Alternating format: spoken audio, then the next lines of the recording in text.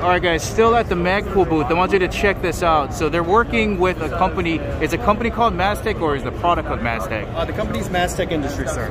Okay, perfect. So what I got on my screen here, they got this phone that's attached to this scope. And what the scope is recording, is that round count on the left? Yes, sir. So on the bottom left here, you're going to see we've got two magazines paired with our system. We're basically simulating what's in the weapon and what's on your person. So the idea is we're going to have two variants of this magazine. We have a powered and an unpowered version. So the unpowered version, when I insert into a weapon, we're going to draw power from the grip.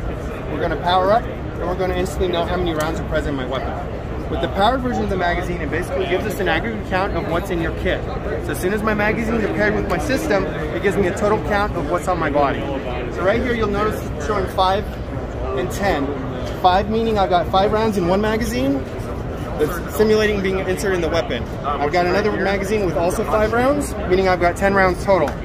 So with the screen and I go and shoot one round out, I'm now going to show four nine, meaning I've shot one, I've got nine left in my kit. I'm going to put that one back in, now I'm still going back five and 10. I pull a mag out of my kit, I drop a round accidentally, and now I'm showing I still have five in my weapon, I've got nine total. That is crazy. And you got like a distance here on the right, right? Yes, Meters. sir. So on, in addition to the round counting technology here, we're also demonstrating our new fire control system. So bring any of your own LPVO that you already own. We support both 30 and 34 millimeter tubes. We've got a full ballistic solution calculator inside. We've got an environmental sensor on board. We're tracking humidity, temperature, pressure. The wind?